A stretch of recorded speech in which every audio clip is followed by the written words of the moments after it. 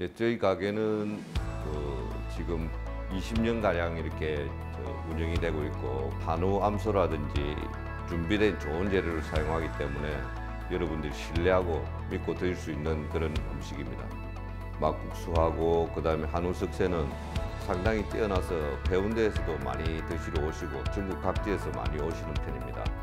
매콤하고 시원한 막국수를 드시고 싶다면 찾아주십시오. 감사합니다.